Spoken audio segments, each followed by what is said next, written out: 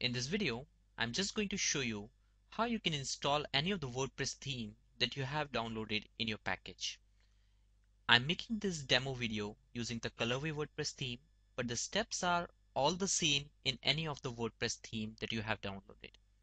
So this is the default WordPress installation. I'm just moving back to the dashboard area and under the appearance, under the themes tab, I'm just pressing the install themes button. Under the upload button, you just need to choose your file. I'm just pressing the choose file and under my themes zip, uh, I have the Colorway theme zip right here. I'm just choosing the Colorway theme zip and I'm just opening it.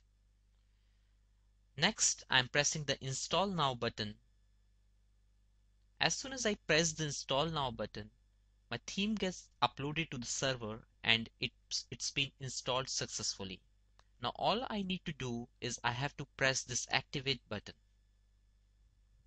As soon as I press the activate button, my complete WordPress theme had been installed and been activated on my website. I'm just moving to the front end of my website and I'm just reloading this page.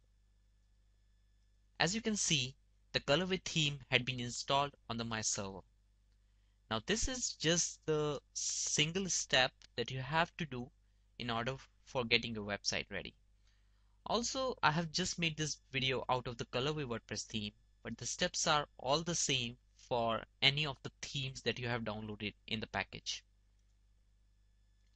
So this is pretty much all about installing the themes.